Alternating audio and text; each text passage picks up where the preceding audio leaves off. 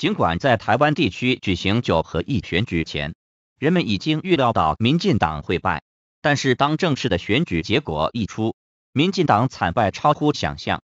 二十四日晚，国民党在台湾多县市胜选。据台湾当局选务主管机关的票数统计，在二十二个县市长中，中国国民党获十五席，民进党获六席，另有一席为无党籍。面对这个结果，台湾地区领导人蔡英文已宣布辞去民进党主席职务，而台当局行政部门负责人赖清德和蔡办秘书长陈菊也已向蔡英文口头请辞。今年国民党阵营翻转颓势。在二十二个县市席位中占到十五个，而民进党只占六个。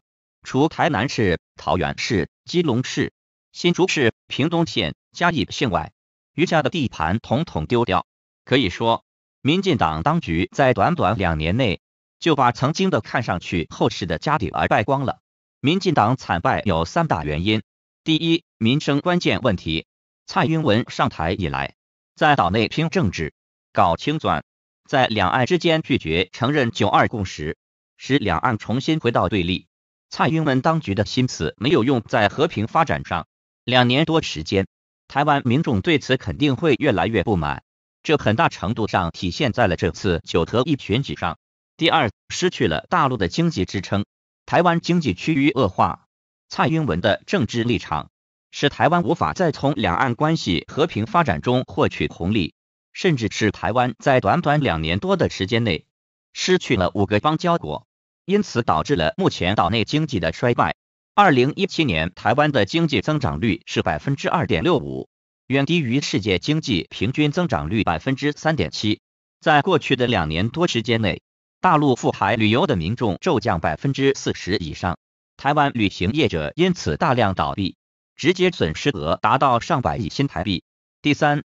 大打两岸牌，操弄意识形态，投靠外部势力，令人厌恶。民进党凭空指责大陆介入岛内选举，在选举后期，蔡英文进行浮选，说的最多的是选择民进党就是选择民主和爱台。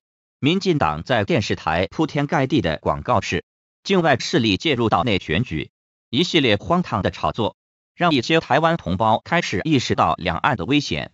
他们对台独分子的恐中牌、反中牌早就反感，用脚投票太正常了。那么，对接下来的台湾当局，我认为应该继续保持较强压力，要继续挤压民进党的空间。与此同时，可以适度与国民党的地方政府合作，让台湾民众看到变化的希望。如此一年多后可保国民党胜选。国民党如果一年多后能够胜选，两岸至少要干两件事。一是要再次通过服贸协议，二是要开始推进政治谈判，这两件事不应偏废，否则两岸统一会继续蹉跎无期。一边推进经济合作，一边推进政治谈判，如此方能有和平统一的希望。若国民党不这么干，那还是让他凉快去吧。过去民进党是真小人，国民党是伪君子。若还是马英九的不统不独不武，那本质上就是独。国民党若再上台，推进两岸政治谈判，应该是两岸深化合作的必要条件之一。